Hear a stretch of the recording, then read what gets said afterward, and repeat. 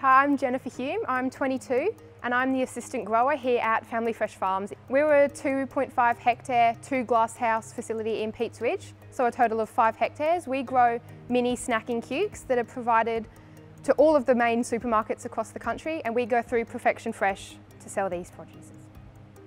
I'm sure many of you know what mini cukes are, but if you haven't seen them, they're basically small cucumbers. You can get them at all the shops. You can see here, we grow them straight off these vines like this. Cukes and mini vegetables in particular like this are grown in protected cropping glass houses because they grow so fast and they're so sensitive to certain weather conditions and things like that. We can really, really create the perfect climate in here for them and we can really get the biggest yields, the best quality and really just have the best produce by controlling everything that we can in a glasshouse like this. Protected cropping is obviously cropping in a protected space. So whether that's under glass houses, whether that's under tunnels, it's just, if it's not in an open field and it's protected under some sort of covering, that's protected cropping. So mainly fruit and vegetables are grown under protected cropping. And of course, because there's so many more people in the world now and there's so much less space, protected cropping is becoming so important. It's so much more intensive. We can fit a lot more in a lot smaller of a space. So it fits in the supply chain in that way. It's very important to get as much as we can out of as little space and as little resources as possible. So I think protected cropping is really a very quickly developing and growing industry in that sense. My role in the business and my responsibilities here are basically to grow this crop. So everything to do with climate control, things to do with labour management, anything to do with any pests, any disease. I'm in charge of looking after this glasshouse basically. So any problems or anything that happens with this house, that's my responsibility. So my day-to-day -day activities, I have basis, basic things that stay the same and then there's some things that change every single day. So we always start off with a morning meeting with the team. We always tell everyone what they're going to be doing for the day so they know. We all come into the glass houses. Obviously I supervise their harvests. I see them each individually in the mornings, tell them what's expected for the day and then that changes between how much yield we have, what the weather's going to be like, is how we harvest the crop. And then, of course, I mix fertilisers. That happens every few days. I'm constantly scouting, looking for pests, looking for disease, anything like that. Constantly doing climate control, making sure that every setting's perfect, making sure that the temperature's always good, that the humidity's always good.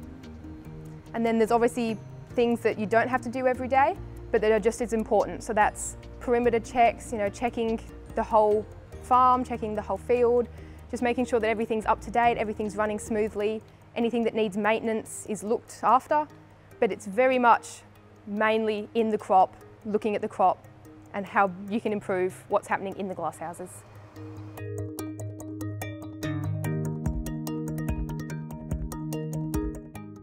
So cukes, the process they go through, they obviously we get the seedlings come in, small plants, within a week they're ready to be picked. So we have our team come through, we harvest them straight off the vines they get put into trolleys and we take them through, we have our own pack shed. So we have workers that pack the cukes straight into the punnets that you see at the supermarkets. So those punnets will then get put in our cold room, they get quality checked, they get cooled to the correct temperatures, and then we have the distribution trucks that come in, and these will take them through to Perfection Fresh's distribution centre, who we sell our produce through. And then that goes straight from them, straight onto the shelves. Sydney markets, Coles, Aldi, Woolworths, you get it at Costco. So all of the main brands around Australia, we provide from them, straight from the vines. My journey into farming and horticulture is quite interesting. I'm actually not from a farming family at all. So I came into this, I went and studied a Bachelor of Agriculture, majoring in plant production up at UNE in Armidale. So I studied that for three years and obviously as part of that degree I had to do 90 days work experience. So for that 90 days, I used to work at a farm further down the road. So my old boss actually recommended this farm as somewhere I could come to to do a bit of work experience. So I worked here for two weeks and then they offered me part-time work while I studied at the same time, which of course I took up. A facility like this, I wasn't going to turn an offer like that down. And then as soon as I graduated, they offered me full-time in this role. And so since then, I've been working here every day, just building up my skills, there's so many things I enjoy about working in horticulture and protected cropping in particular. it's just, it's such a fulfilling job. You know, it really gives you perspective on how much work goes into the food you see at the groceries, and you go to a friend's house and you see your produce in their fridges and you see it served up at dinners at restaurants and it's just, it's really a fulfilling job to see the impact you're making and just to see, especially because it's a lot more sustainable protected cropping. So you're making an impact on the shelves at supermarkets and you're also making an impact environmentally. But this job in particular is just, it's fast paced, you're, you get to do hands-on work, you also get to be behind a computer, so you get best of both worlds. It's just a very rewarding job. You get to work with some amazing people. There's a lot of opportunities for you, you know, you get to travel around, I get to see other farms. So it's a very rewarding job, that's for sure.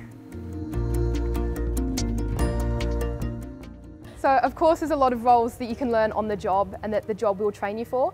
But even just before you start in protected cropping, there's a lot you can do. Like we have glasshouse administrators. So things like Excel, Excel courses, those are really recommended for roles like that. Of course, computer courses. This is a Priva system that we use for our climate control. And there's Priva courses available online that you can do as well. So forklift licenses, of course, they're not hard to get. So those are always useful, honestly, in any role in horticulture.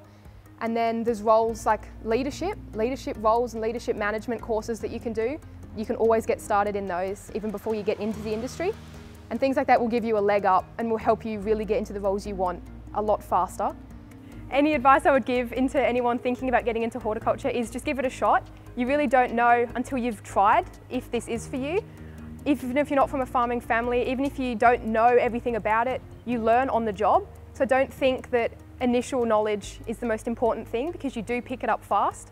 So I really just recommend getting into the industry, getting into a role that interests you, and you will be amazed at how quickly you will find something that's really specific to what you love and what you can progress further. But even within protected cropping, there was a lot of positions available for young people and you don't have to know everything, you don't have to have done a degree, you don't have to be from big family farms. It really is available for everybody. You just have to be driven and you have to show that you are interested and the roles will become available for you.